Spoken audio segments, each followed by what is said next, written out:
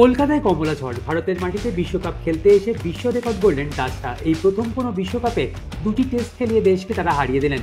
প্রথমে দক্ষিণ আফ্রিকা আর শনিবার বাংলাদেশকে হারিয়ে চমক দিল নেদারল্যান্ড। কলকাতায় এদিন দুশো তিরিশ রানের টার্গেট তাড়া করতে নেমে একশো বিয়াল্লিশ রানের শেষ বাংলাদেশের ইনিংস। সাতাশি রানের হার সাকিবদের চার উইকেট নিয়ে ম্যাচের সেরা পল ম্যাকউইন